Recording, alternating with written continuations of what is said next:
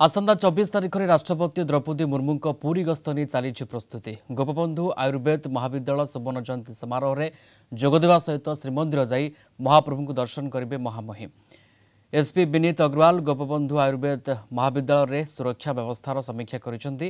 ରାଷ୍ଟ୍ରପତିଙ୍କ ପଚାଶ ମିନିଟ୍ର କାର୍ଯ୍ୟକ୍ରମ ରହିଛି। ସେ ତାଳବଣିଆସ୍ଥିତ ହେଲିପ୍ୟାଡ୍ରେ ପହଞ୍ଚିବା ପରେ ଗୋପବନ୍ଧୁ ଆୟୁର୍ବେଦ ମହାବିଦ୍ୟାଳୟ ସୁବର୍ଣ୍ଣ ଜୟନ୍ତୀ ସମାରୋହରେ ଯୋଗଦେବେ ପ୍ରୋଟୋକଲ ଅନୁଯାୟୀ ଜିଲ୍ଲା ଏବଂ ପୋଲିସ ପ୍ରଶାସନ ପକ୍ଷରୁ ସମସ୍ତ ବ୍ୟବସ୍ଥା ଗ୍ରହଣ କରାଯାଇଛି।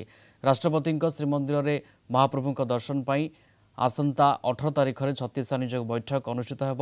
ଗୋପବନ୍ଧୁ ଆୟୁର୍ବେଦ ମହାବିଦ୍ୟାଳୟର ସୁବର୍ଣ୍ଣ ଜୟନ୍ତୀ ସମାରୋହରେ ରାଷ୍ଟ୍ରପତିଙ୍କ ସହିତ କେନ୍ଦ୍ର ଶିକ୍ଷାମନ୍ତ୍ରୀ ମୁଖ୍ୟମନ୍ତ୍ରୀ ଉପମୁଖ୍ୟମନ୍ତ୍ରୀ ପ୍ରମୁଖ ଯୋଗଦେବେ ଉଦ୍ଘାଟନୀ ଉତ୍ସବରେ ସ୍ମରଣିକା ଉନ୍ମୋଚିତ ସହିତ ଦେଶ ବିଦେଶରେ ପ୍ରତିଷ୍ଠା ଲାଭ କରିଥିବା କଲେଜର ପୁରାତନ ଛାତ୍ର ୱାଲମିନଙ୍କୁ ସମ୍ବର୍ଦ୍ଧନା କରାଯିବ. ଏଥିସହିତ କେନ୍ଦ୍ର ଆୟୁଷ ମନ୍ତ୍ରଣାଳୟ ସହଯୋଗରେ ଆୟୁର୍ବେଦ ପର୍ବ ଅନୁଷ୍ଠିତ ହେବ.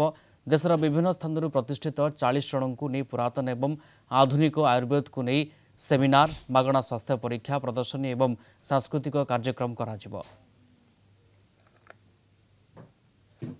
ମହାମହିମ ରାଷ୍ଟ୍ରପତି ମ୍ୟାଡ଼ାମଙ୍କର ଭିଜିଟ୍ ଧାର୍ଯ୍ୟ ହେଇଛି। ଯେଉଁ ତିନି ଦିନିଆ ଓଡ଼ିଶାର ଗସ୍ତ ଅଛି ତ ତା ଦେହରେ ପୁରୀରେ ଆମର ମୁଖ୍ୟତଃ ଦୁଇଟି କାର୍ଯ୍ୟକ୍ରମ ରହିଛି।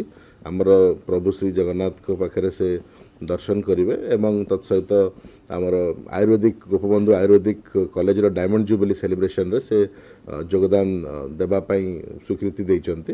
ତ ସେହି ଦିଗରେ ଆମର ଜିଲ୍ଲାସ୍ତରୀୟ ଏକ ପ୍ରସ୍ତୁତି ବୈଠକ ହୋଇଥିଲା ଏବଂ ବିଗତ କାଲି ଅ, ମୁଖ୍ୟ ଶାସନ ସଚିବଙ୍କ ଅଧ୍ୟକ୍ଷତାରେ ଏକ ରାଜ୍ୟସ୍ତରୀୟ ପ୍ରସ୍ତୁତି ବୈଠକ ମଧ୍ୟ ହେଇଛି ଏବଂ ସମସ୍ତ ବିଭାଗ ଅ, ଲାଗି ପଡ଼ିଛନ୍ତି। ସେ କାର୍ଯ୍ୟ କାର୍ଯ୍ୟକ୍ରମଟି କେମିତି ସୁରୁଖୁରୁ ଭାବରେ ହେବ ଆମର ତାଳବଣିଆ ହେଲିପ୍ୟାଡ୍ରେ ମ୍ୟାଡ଼ାମ୍ ପ୍ରେସିଡେଣ୍ଟ ନିଜ ଚପର ଦ୍ୱାରା ପହଞ୍ଚିବେ। ଗୋପବନ୍ଧୁ ଆୟୁର୍ବେଦ ମହାବିଦ୍ୟାଳୟ ଏ ବର୍ଷ ହୀରକ ଜୟନ୍ତୀ ପାଳନ କରିବାକୁ ଯାଉଛି। ପଞ୍ଚସ୍ତରୀ ବର୍ଷ ପୂରଣ ହେଇଛି।